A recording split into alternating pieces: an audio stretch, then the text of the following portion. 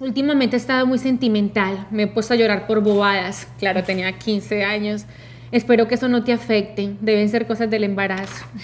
Es increíble, Jime, como una niñita de 15 años, es cierto, podía hablar, la madurez, yo creo que es que de momento al una mujer salir embarazada, automáticamente hay cierta mm. madurez maternal que llega a la mujer. En muchos de los escritos yo me acuerdo que yo me acerqué mucho a Dios en esa época y yo le decía a Dios, siempre le decía, lo único que yo te pido es que me enseñes a ser mamá.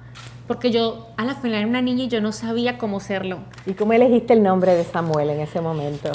Siempre fue un nombre que me gustó. Su abuelo se llamaba Samuel también. Y mira, este fue el día que nació, 22 de septiembre. Ah. Hoy es un día inolvidable. En este día ha resplandecido esa flor que nació dentro de mí.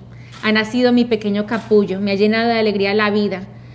Al ver cada parte de tu cuerpo no puedo dejar de asombrarme de tanta maravilla. Samuel, sí. ¡Qué belleza, Dios mío! ¡Qué lindo! Cosas lindas que leo y me. Mira lo que me recuerdan desde donde vengo